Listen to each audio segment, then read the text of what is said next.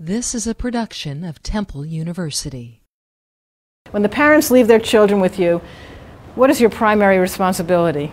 Make sure they're safe. That's your primary responsibility to keep them safe. Today we have a babysitting camp going on. The kids are learning skills and gaining confidence on how to take care of infants and toddlers. Cute little baby. The kids earn a certificate that they've taken a Red Cross babysitting class. The um, infant mannequins that you're going to be practicing with, they're about the size of a three month old. Set the baby down on the table.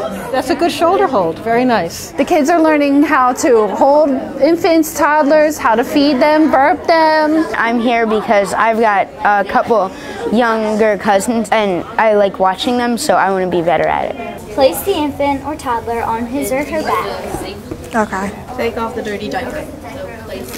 This is my first try, so I think I did okay.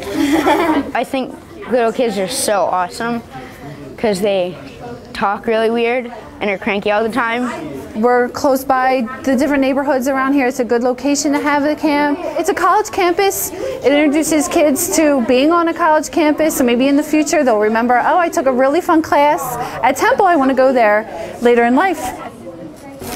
Yay!